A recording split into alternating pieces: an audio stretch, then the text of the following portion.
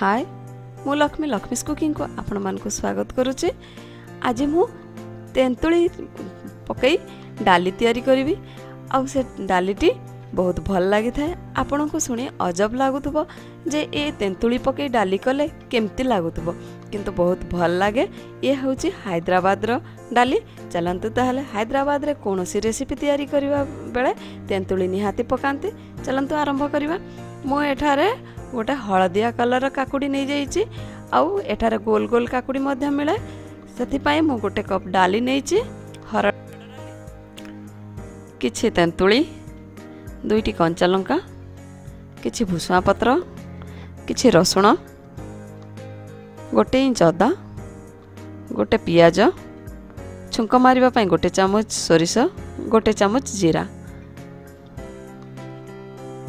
ଏବେ ଆମେ କାକୁଡ଼ିକୁ କାଟି ନେବା ଏହିପରି ଭାବରେ ଏଠାରେ ହଳଦିଆ କାକୁଡ଼ି ମଧ୍ୟ ମିଳିଥାଏ କାହିଁକି ନା ଓଡ଼ିଶାରେ ଏଇ କାକୁଡ଼ି ମିଳିନଥାଏ। ଆପଣମାନଙ୍କୁ ଦେଖିକି ଏ କାକୁଡ଼ି ନୂଆ ପରି ଲାଗୁଥିବ ନିହାତି। ଭଲ ଭାବରେ ଚୋପା ଛଡ଼େଇ ନେବା। ଏଇ କାକୁଡ଼ିରେ ହାଇଦ୍ରାବାଦରେ ରସମ କିମ୍ବା ସମ୍ବର ତିଆରି କରିଥାନ୍ତି। ସେ ରେସିପି ମଧ୍ୟ ମୁଁ ଧୀରେ ଧୀରେ ଛାଡ଼ିଦେବି। ଦେଖନ୍ତୁ ଏହିପରି ଭାବରେ ତାକୁ କାଟି ନେବା ଭଲ ଭାବରେ ପ୍ରଥମେ। ଆଉ ଏତେ ଛୋଟ କାଟିବାନି କି ଏତେ ବଡ଼ ମଧ୍ୟ କାଟିବାନି ତାକୁ ମିଡ଼ିୟମ୍ ସାଇଜ୍ରେ କାଟି ନେବା ଦେଖନ୍ତୁ ମୁଁ ଏହିପରି ଭାବରେ ଏବେ ଦୁଇ ପିସ୍ କରି ନେଉଛି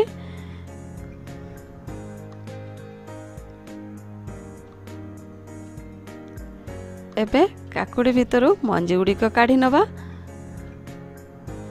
ଏହିପରି ହାତରେ ମଧ୍ୟ କାଢ଼ିପାରିବେ କିମ୍ବା ଚାମଚ ସାହାଯ୍ୟରେ ମଧ୍ୟ କାଢ଼ିପାରିବେ ଚାମଚରେ ବହୁତ ଭଲ ବାହାର କାଢ଼ି ହେଉଛି ଆଉ ବହୁତ ଶୀଘ୍ର ବାହାରି ଯାଉଛି ମଞ୍ଜି। ଏହିପରି ଭାବରେ ସବୁ ମଞ୍ଜି ଗୁଡ଼ିକ କାଢ଼ି ନେବା। ଏବେ ଚାଲନ୍ତୁ ମୁଁ ଗ୍ୟାସ୍ରେ ପ୍ରେସର କୁକର୍ ବସାଇ ଦେଇଛି। ଗ୍ୟାସ୍ ପ୍ରେସର କୁକର୍ ଗରମ ହୋଇଗଲାଣି। ଏବେ ସେଥିରେ ଦୁଇ ଚାମଚ ସୋରିଷ ତେଲ ଦେଇଦେଇଛି ସୋରିଷ ତେଲକୁ ଗରମ ହେବା ପାଇଁ ଦେବା।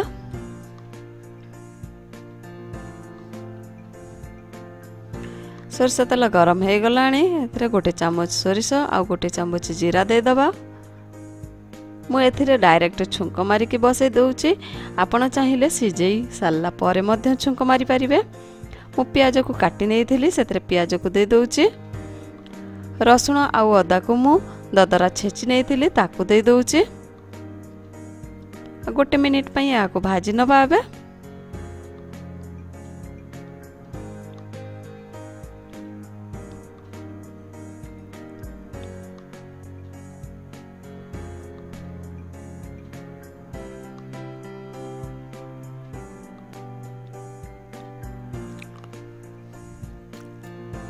ଦେଖନ୍ତୁ ହାଲକା ଭାଜି ହେଇ ଆସିଲାଣି ଏବେ ସେଥିରେ କଞ୍ଚା ଲଙ୍କା ଦେଇଦେବା ଆଉ ଭୁସୁଙ୍ଗା ପତ୍ରକୁ ମଧ୍ୟ ଦେଇଦେବା ତାକୁ ମଧ୍ୟ କିଛି ଟିକେ ଭାଜି ନେବା ହାଲକା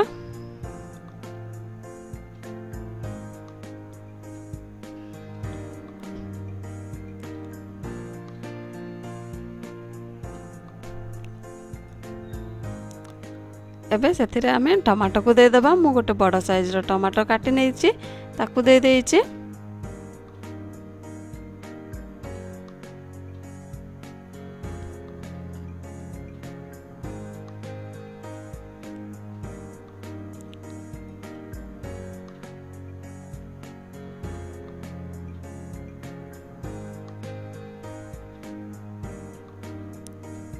ଟମାଟୋ ଆମର ଭଲ ନରମ ହେବା ଦରକାର ନାହିଁ। ସିଟି ମାରିଲେ ଆମ ନରମ ହେଇଯିବ। ଡାଲିକୁ ଏବେ ସେଥିରେ ଧୋଇଦେବା। ଭଲ ଭାବରେ ଧୋଇକି ମୁଁ ଡାଲି ଭଲ ଭାବରେ ଧୋଇ ନେଇଛି।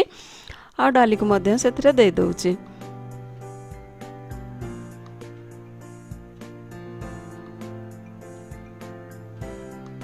ଚାଲନ୍ତୁ ଏହାକୁ ଭଲ ଭାବରେ ମିଶାଇ ନେବା ଡାଲିକୁ। ତା ସହିତ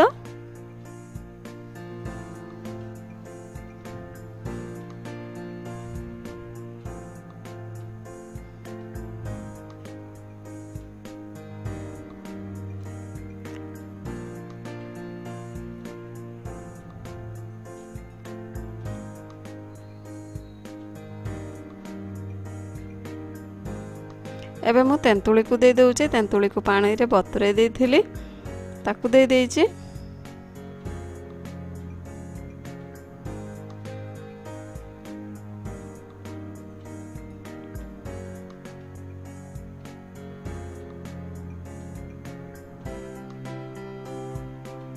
ହଳଦୀ ଦେଇଦେଉଛି ଗୋଟେ ଚାମଚ।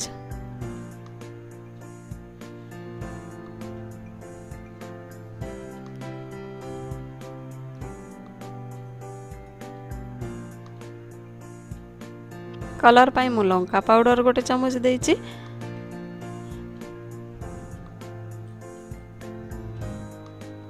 ଆଉ ତାକୁ ଭଲ ଭାବରେ ମିଶାଇ ନେଉଛି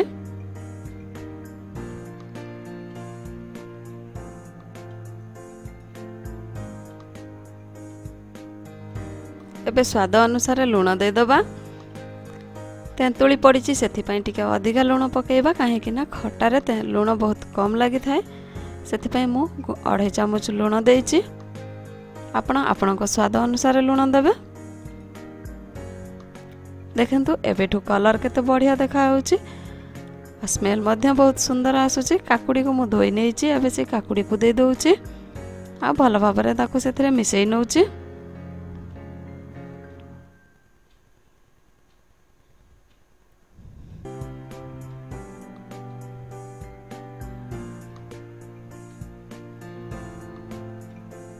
ଏବେ ମୁଁ ସେଥିରେ ଦେଢ଼ ଗ୍ଲାସ୍ ପାଣି ଦେଇ ଦେଉଛି।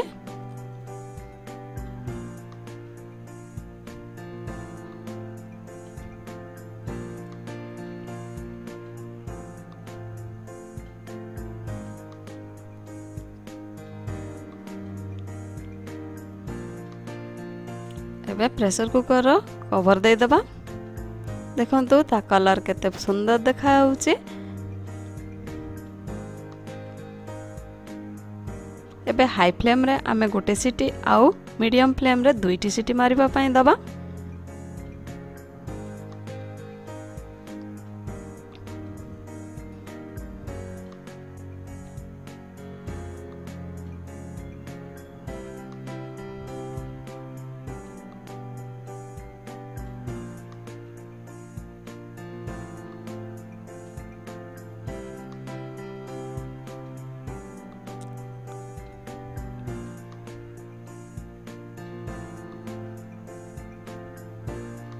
ପ୍ରେସର କୁକରରେ ତିନୋଟି ଯାକ ସିଟି ମାରି ଦେଇଛି। ଆଉ ଏବେ ସିଟି ମଧ୍ୟ ବାହାରି ଯାଇଛି ଗ୍ୟାସ୍ ଚାଲନ୍ତୁ କାଢ଼ିକି ଦେଖିବା।